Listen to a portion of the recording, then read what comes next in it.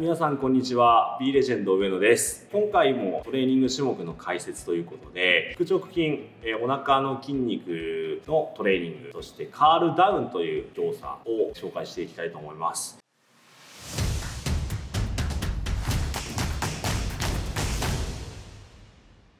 腹筋の種目だとシットアップだったりクランチだったりっていうところがポピュラーかなと思うんですがその2種目が主に腹直筋の収縮を意識する種目なのに対してこれはぐーっとその腹筋に対してそのネガティブな刺激を与えていく種目となっていきます。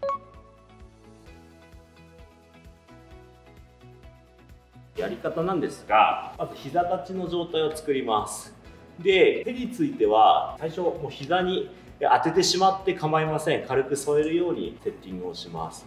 でここから体を丸めるようにしてぐーっと体を倒します。倒します。で戻ってこれる位置から戻ります。この倒した時にしっかりとこの耐える。多分普通に耐えずに体を倒すと足が上がっちゃうと思うんですがこの足が上がらないようにぬーっと体を倒す。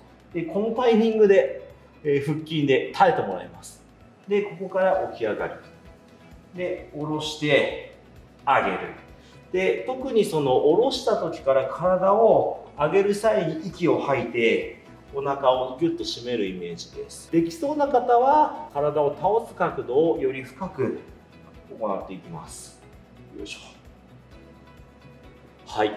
動作のポイントです。体を倒す際に顎を引いてなるべく体をちょっとずつ丸めるようにして動作を行いましょう。これはイメージの話なんですがこう背中の脊柱がありますがその脊柱のこの骨一個一個下から順々にあの床についていくようなイメージです。こうぐーっと倒してちょっとずつこう床にお尻の辺りから背中の辺りまでつけて体を起こします。今回はカールダウンという腹筋の種目を紹介いたしました。腹直筋に対してエキセントリックな刺激を与えれるというところでシットアップやクランチとはまたちょっと毛色の違う種目ではあります。シットアップだったりで例えば追い込んで追い込んでそこから果てた後にもこのカールダウンに移行するっていう方法も非常に有効かなと思いますので種目のバリエーションとして持っておくと面白いのではないでしょうか。是非のも実践していただけたらと思います。以上です。ありがとうございます。